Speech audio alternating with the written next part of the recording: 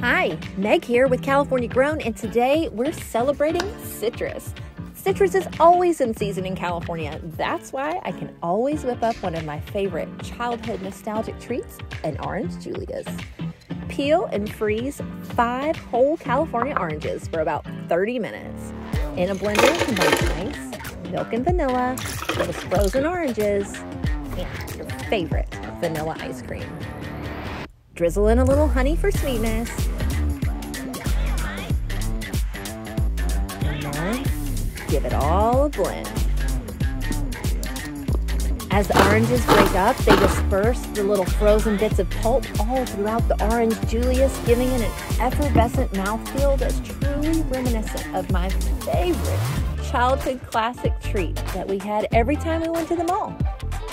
I know you're to love it too.